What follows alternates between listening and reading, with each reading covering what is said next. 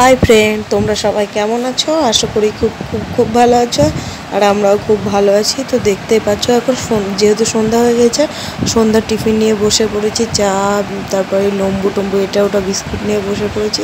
তো চা খাওয়ার পরে এই ফলটা একটু মানে খাওয়ার ইচ্ছা হলো তাই খেলাম। তো এবার যাচ্ছি, চল।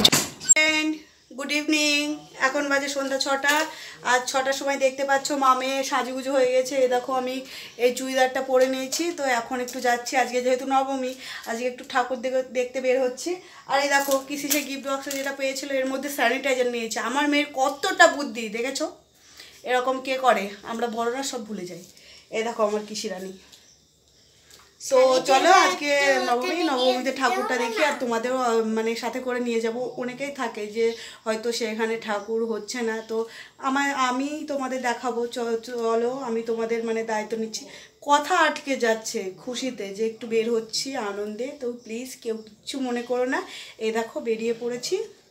মেয়ে একা একা চুল বেঁধেছে তো ওকে আবার চুল বাঁধাতে হবে। তা চলো আমাদের সাথে। হয়ে গেছি আর সাথে মাস্কও নিয়ে নিয়েছি। লিপস্টিকটা যা শো।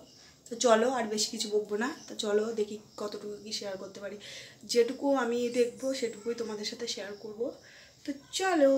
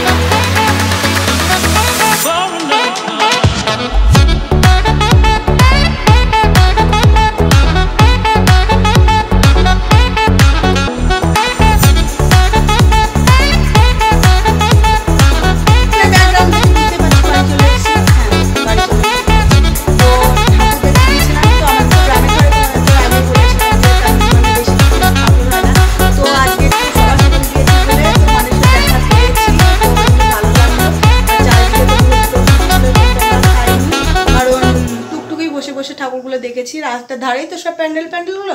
তো চারিদিকে আবার আরাধনা টারাধনা গান টান হচ্ছিল। তো দেখে তো খুব ভালোই লাগছিল। কি বলো তো এই মেলায় যাওয়ার পরে ফুচকা খেয়েছি তারপরে তেমন কিছু তো বসেনি, আইসক্রিম খেয়েছি। আর নিয়ে আসা হয়েছে তোমার বাদাম। বাদামটা ওই ঘরে শাশুড়ি মাকে দেওয়া হয়েছে, তো শাশুড়ি মা তো খুব ভালোবাসে বাদাম, ওই জন্য শাশুড়ি মাকে দেওয়া হয়েছে। আর আমার বর যেখানে যাবে, সেখানে যে জিলাপি জিলাপি আসবে না তার কোনো মানে হয়? তো আমাদের ঘরে তো জিলাপি, রোজকার রোজ হয়। জিলাপি বলো আর মিষ্টিই বলো, রোজকার রোজই আনতে হয়। কারণ কি বলো তো তোমাদের তো বলেছি, ও মিষ্টি ছাড়া কিচ্ছু তো ভাত খায় না মানে আমার বর।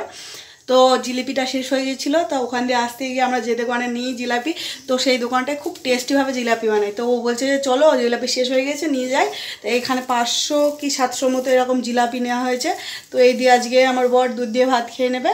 ও মিষ্টি ছাড়া খায় না। ঘরে হয় কলা পাকা কলা পাকা দিয়ে খায়, যেদিন জিলাপি থাকে না। তো চলো, আর কি শেয়ার করতে পারি সেটা দেখো। ড্রেসটা চেঞ্জ করতে হবে, তারপরে দেখা যাক। আর মেয়ে এসে কিন্তু ওই ঘরে চলে গেছে হ্যাঁ? তো এখনকার মতো আসছি। টাটা।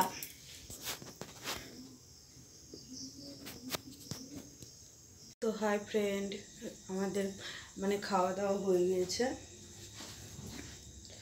খাওয়া দাওয়া হয়ে গিয়েছে, দেখতে পাচ্ছ। এখানে দেখো মশারি টশারি মানে বের করে রেখে দিয়েছি, এবার শুধুমাত্র টাঙালেই হয়ে যাবে। কি বলো তো দেখতে পেলে ঘোরাঘুরি করলাম। তো সারাদিনে না অনেক খাটাখাটনি হয়ে যায়। ছাগল পাগল এটা ওটা নিয়ে খাটাখাটনি হয়ে যায়। তো বেশি বকর বকর করতে ভালো লাগছে না। তো এবারে মশারিটা করতে হবে। মেয়েকে খাই মানে মেয়েকে যখন খাইয়ে দিয়েছি, তো তখন আমিও খেয়ে নিয়েছি, বুঝতে পেরেছ? তো আমার খাওয়া হয়ে গেছে। তোমাদের দাদাভাই প্রায় দশটা বেজে গেছে। আর এখন তো পুজোর সময় তোমাদের দাদাভাই একটু মানে বন্ধুদের সাথে ঠাকুর দেখতে বেরিয়েছে। আমাদের নেওয়ার পরে মানে আমাদের যেহেতু টুকটুকি আছে, সবাই তো বায়না করে বন্ধুরা যে, চল ঘুরে আসি ঘুরে আসি। তাই হয়তো একটু ঘুরতে মুড়তে গিয়েছে। এখনই চলে আসবে, আমাকে ফোন করল যে, বাড়ির কাছে চলে এসছে। এবার আমি ফ্রিজ থেকে দুধটা বের করব, তারপরে গরম করব, তারপর খেতে দেবো, দিয়ে তারপর শুয়ে পড়ব। ভালো লাগে না বন্ধুরা। তাছাড়া এই যে আমার এই কানটা কানটায় কত মানে তাও এক সপ্তাহ ধরে ঝাঁপ ধরে আছে। এটা একদম সিরিয়াস কথা মানে ঝাঁপ ধরে আছে, খুবই, প্রচণ্ড হারে ঝাঁপ ধরে আছে।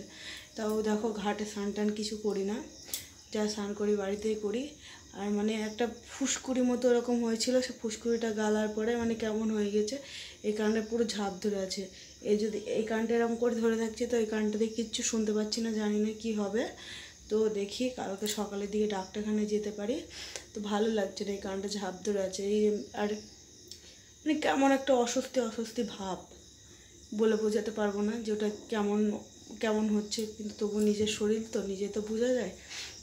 মানে কাউকে বোঝাতে না পারলে নিজে তো বোঝা যায়। কারণটা মানে অতিরিক্ত ব্যথা হয়েছে।